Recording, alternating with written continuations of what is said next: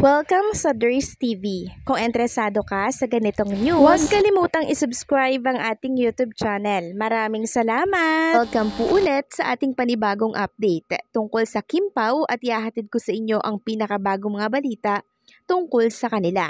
Kaya kung hindi kayo subscriber ng ating channel, pindutin nyo na ang notification bell at idamay na din ang bell button para ma-notify kayo sa mga bago at nagbabagang happenings tungkol sa Kim Pao. Narito ang mga dapat nyong malaman tungkol sa kanila.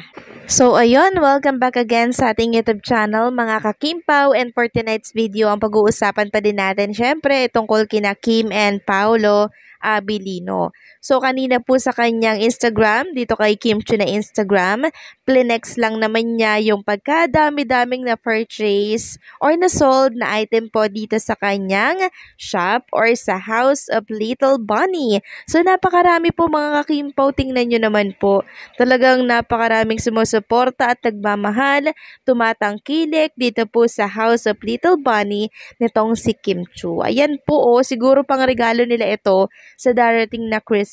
Talagang nireserve na nila for uh, their loved ones, 'di ba? Para po sa kanilang uh, girlfriend, kanyang kaibigan, 'di ba? So best uh, choice naman talaga ito pagdating po sa mga pangregalo, lalo na sa mga girls, sa mga kababaihan, yung mga bag na yan, yan po yung mga gusto nila. So, sa mga nagtatanong po kung saan itong shop nitong si Kim Chu, ilalagay ko na lamang po sa mga screen po ninyo yung location. Para po ito sa mga hindi po makapag-check out sa online shop ng HOLB, okay? Or House of Little Bunny. So, ayan, ilalagay ko lang sa mga screen po ninyo. Ayan po, third floor, room 301, Transorient Maritime Building 1660 Mog Avenue, Diliman, Quezon City 1103 Metro Manila, Philippines. House of Little Bunny.ph Open 5 p.m. po ah, close, close 5 p.m. mga kakimpaw. So, ayan po ha, sa mga willing pong magpunta, yan po yung exact location ng House of Little Bunny ni Kim Chu na shop. Makakapili po talaga kayo doon. Okay? Sa mga gusto pong magbisita, uh, sundan nyo lamang po ang address na yan. Samantalang narito naman po ang post si Paulo Avelino Global para po sa isang announcement. Ano kaya ito? Sabi kasi dito, exciting news coming your way. Team Pag, stay tuned. Something big is about to drop. Are you ready to show your love for Paulo and Win? So, para saan kaya ito mga Kimpaw? Paulo and Win? Sino kaya yun? Is that Kim Cho and Paulo Abilino? Or si Paulo Abilino at ang Pag-Games? Naku, yan ang dapat nating abangan. Panibagong dapat na naman itong abangan mga kakimpaw. And pag-usapan din natin itong post ng Chowking. Sabi dito, guess who else is coming to town? May handog kaming magpapasaya sa lahat ngayong November 29. Tune in to find out any guesses. Handa na ang special guest ng Pasko and kung inyong makikita dito sa Red Ball na nakasabit po sa Christmas tree, eh si Papi Paulo po yan mga kakimpaw eh. Isinom in, sinom out ko na Papi Paulo po talaga eh. Kayo po ba mga kakimpaw? Ilalagay ko lang sa mga screen po ninyo sino po ang hula ninyo. And eto pa po yung pinagkakaguluhan ngayon sa Instagram, yung naging post po ni Kim Chu about Chowking na nagflex po siya ng halo-halo supreme mula po sa Chowking. Sabi kasi dito ni uh, Chinita Princess sa kanyang caption, share ko lang kay boss yung paborito kong halo-halo supreme ng Chowking. So ang tanong ng marami, sinong boss? Sino daw boss yung tinatawag nitong si Kim Chu dito sa post?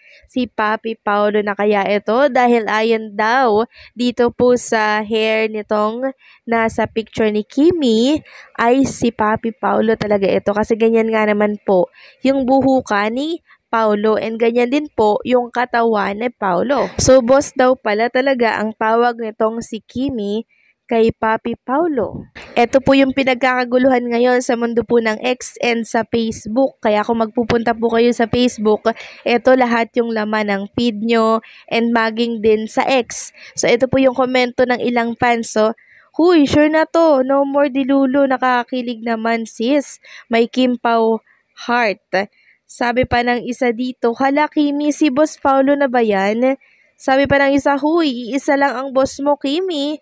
So, ibig sabihin si Paulo Abilino nga. And sabi pa ng isa dito, ngayon lang ako kinilig sa halo-halo. Huy, may Kim Pao heart. May nagsabi pa dito na sana all daw, sana ay November 29 na daw. So 27 pa lang bukas pero gusto na po nilang November 29 na daw agad para makilala na po nila itong uh, bagong ambassador ng Chowking. Komento naman ng isa, hindi talaga nalilimutan si Boss. Siyempre naman, hindi makakalimutan ni Kim Chu yan.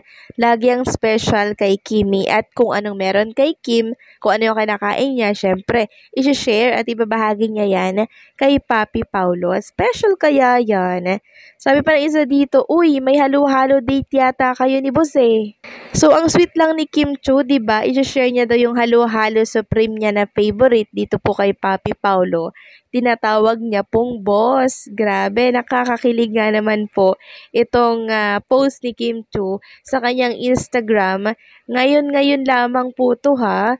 Grabe, ang dami talagang kinilig dito mga kakimpaw and talagang nagkakagulo sila ngayon sa mundo po ng X, sa Facebook. Ito yung topic nila kasi nga naman sa caption ni Kim Chu, gusto niya daw pong i-share kay boss.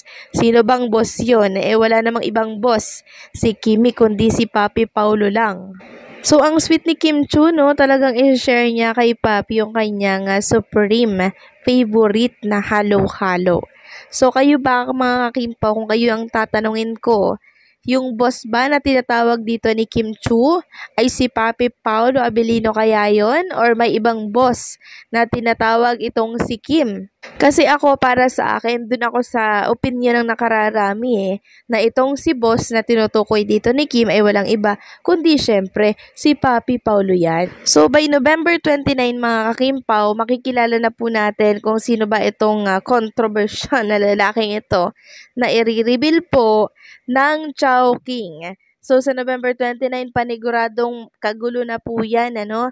Lalo na kung si Papi Paulo po ang ilabas ng Chowking. Naku, for sure, maraming kikiligin po na Kim Pao fan. So, nung malaman po ito ng ibang Kim Pao fans na si Papi Paulo ang bagong brand ambassador ng Chowking, abay sabi po nila ililibre daw po nila yung kanilang mga kaibigan, mga pinsan dito po sa Chowking. Meron pang nagsasabi na nako, mag-order ako ng uh, choking. So, 'di ba? Mas lalong lalakas po ang choking kung si Papi Paulo po ang i-reveal nila nakasama po nitong si Kim Chu kasi talagang susuportahan po yan ng Kim Pao fans dahil natutuwa sila na napagsama po ng Chowking muli sina Kim and Paolo Avellino sa isang TV commercial or bilang isang brand ambassador. So hanggang dito na lamang po ang update natin at maraming salamat po sa pakikinig at pagsuporta sa mga daily update natin tungkol kay Kim and Paolo Abilino.